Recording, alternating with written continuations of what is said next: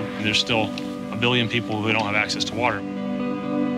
So in Chile, trucks are used in order to bring water to communities that don't have a permanent infrastructure system. TOHL has developed the first mobile infrastructure.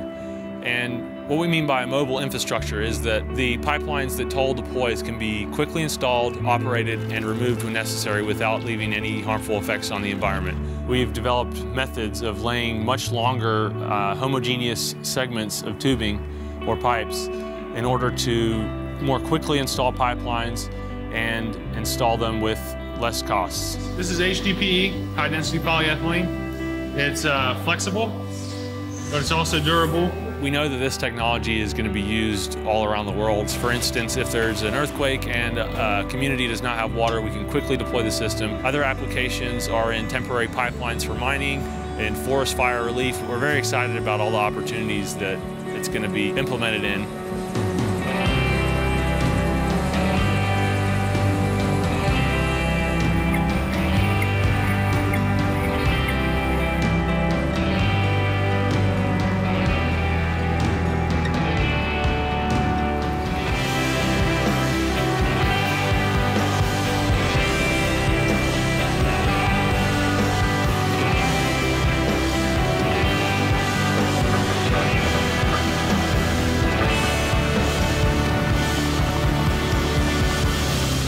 Water is a basic necessity, and fluid transport is a basic necessity. TOHL's technology is very simple, it's proven, but we can't believe that no one's ever done it before. So just think about if we only had landlines, we had no cell phones. Imagine a world without cell phones.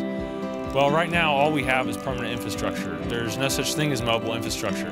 Until now, TOHL has developed a mobile infrastructure that can be implemented right now that is going to revolutionize the world.